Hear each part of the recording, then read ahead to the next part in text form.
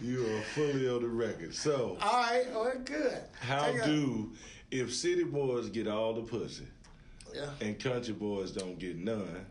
Then how do country boys get pussy? chicken, horses, and cows?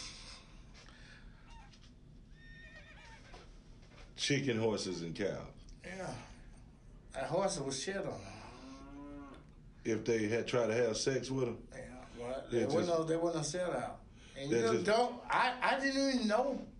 See, I'm a city boy. I don't know what they did in the country. yes, you do.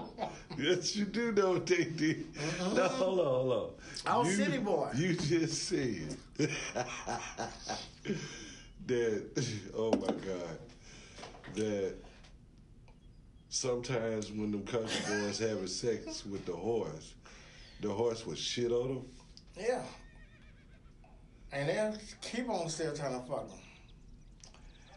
and they would still continue to try I heard have all this shit. So I'm city. I'm not country. You can't even take me to the country and, and, and make me be happy. It's So that's the difference between a city boy and a country boy is that Country boy will sleep with a chicken or a horse or a cow, and they ain't stick his dick in. Because there ain't no pussy in there, because all the pussy left the country.